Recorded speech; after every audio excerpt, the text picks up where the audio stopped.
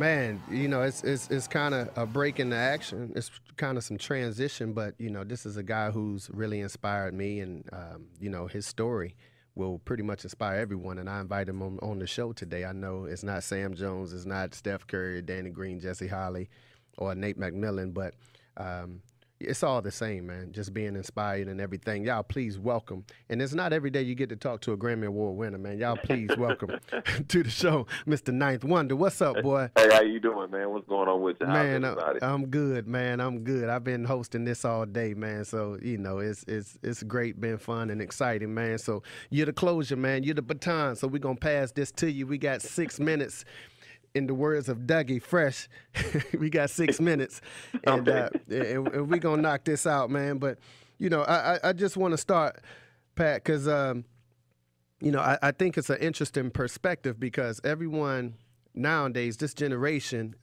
all the basketball players and football players and just athletes overall want to be hip hop producers and rappers, and all rappers right. and hip hop producers want to be basketball players. Where do you right. think that that coincides? Like, where did that come from?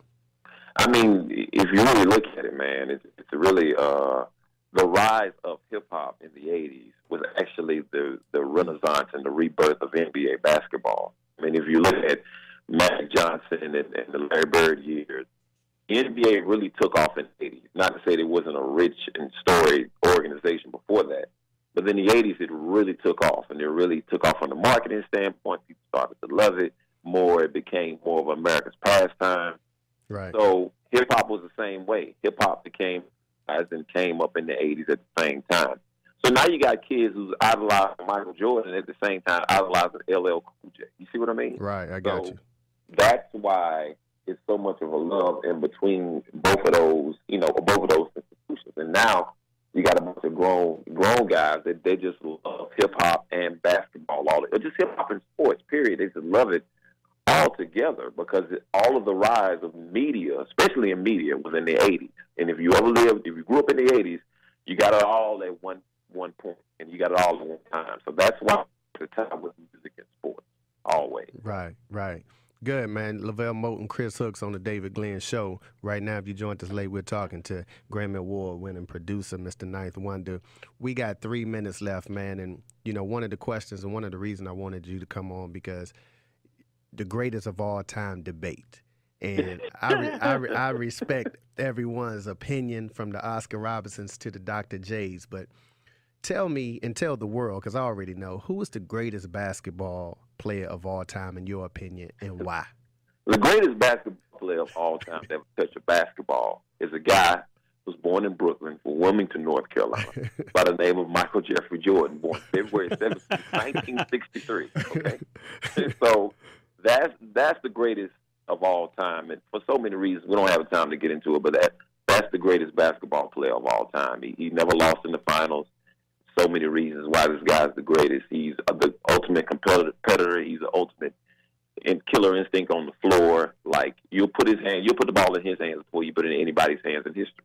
Right. So that's, that's what it is. Now we had the great Sam Jones on on here today, and and I just want to know from your perspective, who would have won? Who who would have won between Michael Jordan's Bulls teams and and Sam's?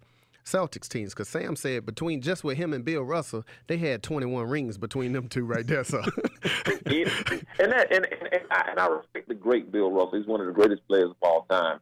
And we also have to look at the situation. I may get jumped on for Bill Russell fans. we have to look at Bill Russell's competition, like right. the height of his competition. Like if Wilt was his competition, but was it a lot of, a lot of agile big men in the league when he was in the league. And I might get jumped on by saying that. No, no, we respect that. That's why that we is, got you. That is, that's just the you know that's just the, the, the you know the standpoint. But as Joe Dumars said about Michael Jordan himself, was one of the greatest defenders on Mike. He said, "I can't see anybody saying, oh, this guy was just great for his time. He's great before our time, after our time. Everybody has to really look at that. He's the Michael Jackson of our sport, and that's what it is. So." Just got to learn to live with that, man. Everybody be okay. You know what I mean? And there it is, folks. There it is, folks.